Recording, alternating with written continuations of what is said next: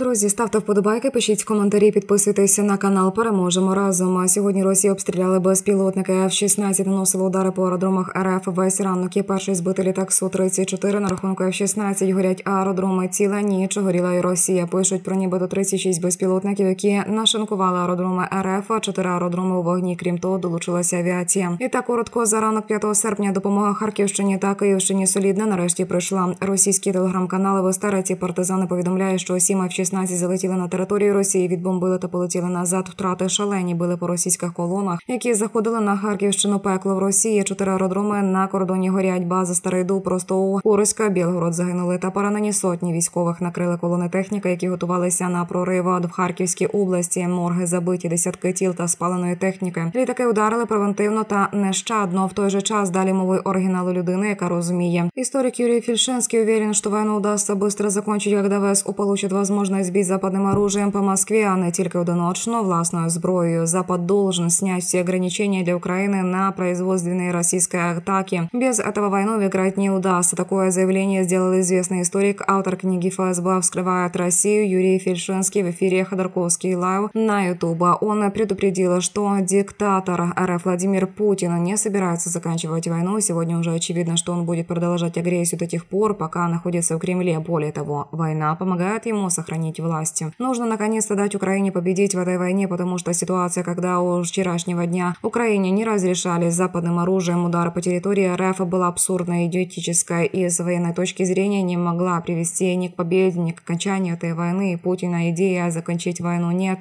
У него есть идея вести перманентную войну против Запада, поэтому единственный шанс остановить эту войну дать Украине победить, а для этого нужно дать Украине наступательное оружие дальнего действия, снять все ограничения, позволив ВСО бить по всем точкам, которые они считают нужными, включая Москву. Россия – та страна одного города, и никакие удары по Белгороду войну не закончат. Закончат ее удары по Москве, причем за две недели, рассказал Фельшинский. Он также высказал уверенность, что Западу необходимо начать освободительную операцию Беларуси, так как сохранение там российской оккупации очень опасно для мира. Как только было объявлено о том, что Беларусь будет переброшено российское ядерное оружие, я сказала, что Западу необходимо превентивно входить в Беларусь и восстанавливать там демократию, освобождать от российской оккупации, потому что сценарий, когда Россия вносит ядерный удар, это пугает, этого просто не произойдет, это достаточно самоубийственный шаг. А вот сценарий, когда этот удар наносится из Беларуси, я вижу как абсолютно реальный, потому что тогда ответный удар будет по Беларуси, и в этом и есть гибридный ход очередной Путина. Нужно освобождать Беларусь от российской оккупации, потому что это плацдарм для начала военных действий против